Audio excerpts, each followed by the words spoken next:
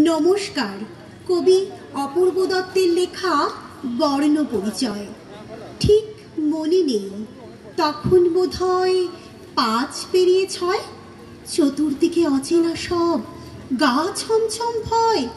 মাঝে মধ্যে দাদার খাতা কলম নিয়ে খেলি। বাবা হেসে বলতেন, আবার এসব কোথায় পেলি? মনে আছে সেবার সরস্বতী পুজোর দিনে বাবা আনলো শহর থেকে স্লেট পেন্সিল কিনে। কালীকঙ্কর জ্যাঠা মশাই পুজো করার পর আমায় কোলে নিয়ে বললেন, এই নে, এটা ধর। তাকিয়ে দেখি স্লেটের ওপর ছোট্ট একটা বই। আমি বললাম, এটা খারাপ, বাঘ ভাল্লুক বই। এই বইটাই দেখেছিলেন দাদার বইয়ের গাদায়।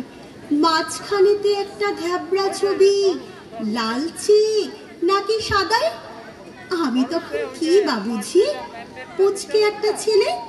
এ বয়সে কেউ খুশি হয় স্লেট পেন্সিল পেলে?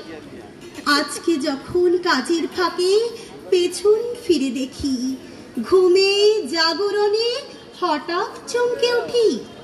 একি লাল মলাটের ভেতর থেকে আসছে পাখা মেলে। মাধব, ভুবন, অভয়, নবীন দামাল ছেলে। হাসতে হাসতে আসছে ওরা, ভাসছে খুশির ভেলায়।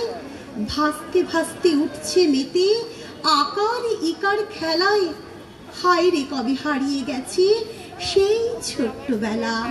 হারিয়ে গেছে মায়ের সঙ্গে লুকোচুরি খেলা।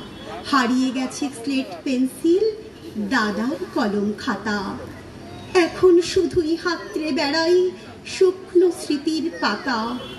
ফিরবে না আর ফিরবে না সেই পাঁচ পেরিয়ে ছয়। সাগর থেকে কুড়িয়ে আনা বর্ণ পরিচয়। নমস্কার।